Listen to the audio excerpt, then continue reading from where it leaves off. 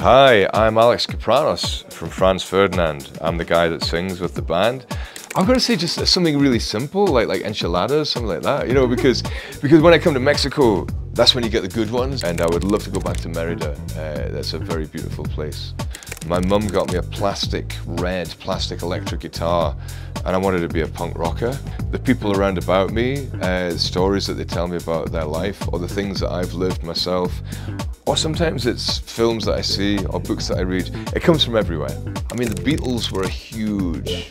Older bands with the monochrome set, um, but new bands, I'd say there's a band called Los Bichos, uh, who play kind of cumbia that I worked with a wee while ago. I'd, I'd, say my friends, my, my people, the people around about me, you know, it's the people who are close to you which uh, inspire you most, I think. Hey, I've been Alex Kapranos. It's been really lovely being with you for a wee while.